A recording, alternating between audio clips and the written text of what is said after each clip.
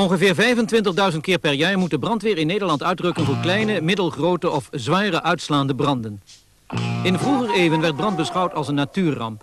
Het enige wat er tegen gedaan kon worden was een menselijke ketting vormen en met emmertjes water proberen het vuur te blussen. Toen Jan van der Heijden in 1672 de slangenbrandspuit uitvond, werd het mogelijk bij het blussen dichter tot de brandhaard door te dringen.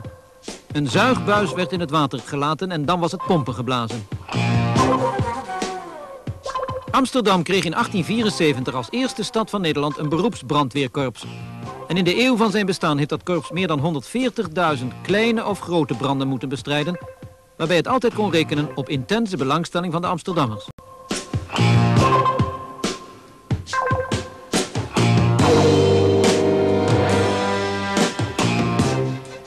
Vooral in het oude centrum met zijn smalle straten is Amsterdam een brandgevaarlijke stad.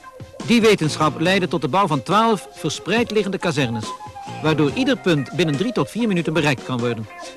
Dat was ook het geval bij de grote brand van CNA in de strenge winter van 1963. Maar daar viel aan blussen niet te denken, hoogstens aan nablussen. Herhaaldelijk moest de brandweer optreden tegen branden in het havengebied, zoals die aan boord van de Indonesische vrachtvaarder Chokro Aminoto in 1964. Spectaculair was ook een gevaarlijke benzinebrand in de petroleumhaven in 1969, waarbij men erin slaagde uitbreiding naar het hele tankpark te voorkomen.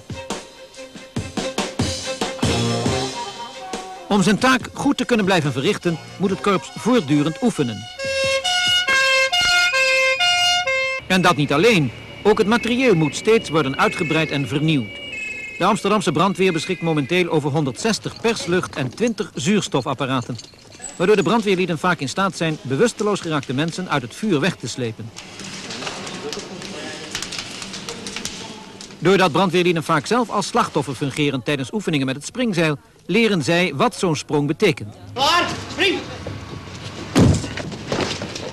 Elk jaar raken er in Amsterdam zo'n 70 à 80 auto's te water. De brandweer beschikt over een ploeg kickforce-mannen die eventueel de inzittenden naar boven kunnen halen en die de kabels aanbrengen voor de kleine of grote kraanwagen.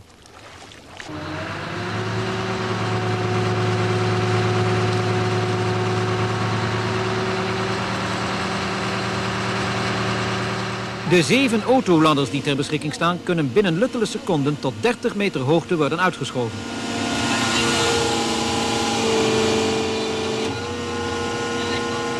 De gevaarlijke stoffen zoals die dagelijks door de stad vervoerd worden, vereisen een aparte aanpak met moderne blusmiddelen als poeder en schuim. Ook bij de oefeningen blijken brandweerlieden vaak onder hoge druk te staan.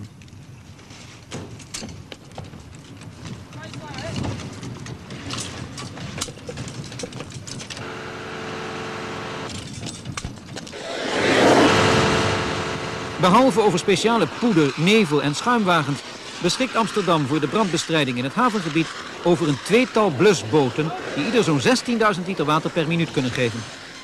In alle opzichten is de 100-jarige Amsterdamse beroepsbrandweer ingesteld op snelle en doeltreffende hulpverlening.